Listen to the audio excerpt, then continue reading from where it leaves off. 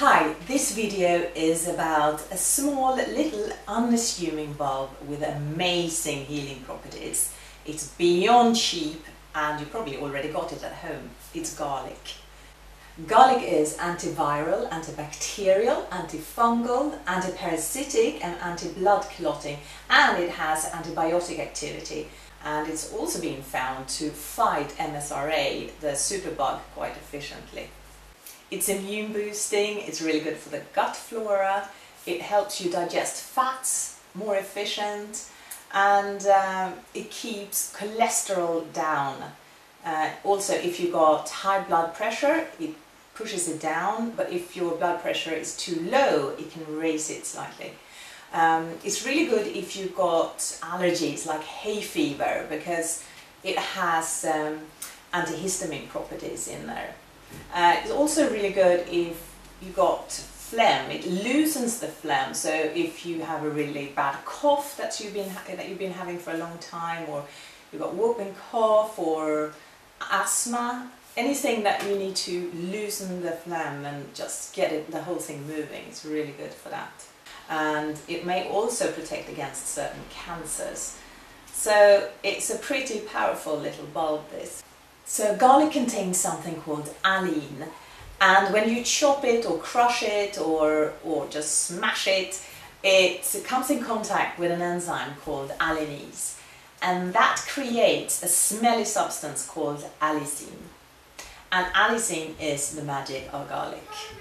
And it's very unstable, so as soon as you've chopped it up, you need to eat it straight away if you eat garlic for medicinal purposes. Uh, because allicin destroys really, really quickly. Within an hour, some people say it's, it's mostly all gone. So you need to eat it quite quickly. And if you if you fry it or cook it or leave it for a long time, it will all disappear. So I take one or two garlic cloves a day, most days. I chop them up really, really, really finely in small little, small cubes so I get all that smelly, garlicky allicin going and, and I put it straight back and then I just drink some water. And um, I also give it to the kids. My five-year-old likes the taste, uh, my nine-year-old is not that impressed. But then he has hay fever, so because of its uh, antihistamine activity in there, I'm quite keen on him to uh, to eat it. So I give them half a chopped up, super super finely cubed up um, garlic clove each, half each, and then they just hold their nose, put it straight back and just drink juice and that seems to be fine. Uh, I also recommend taking one or two cloves before you go on a flight because of its anti-blood clotting activities and also because, you know, to fight colds and flus and whatnot that's flying around in an aeroplane. Um, I think that's very good. And also, who knows, I mean, some people might say you smell a little bit of garlic and they ask to move the person sitting next to you and hey presto, you've got an extra seat.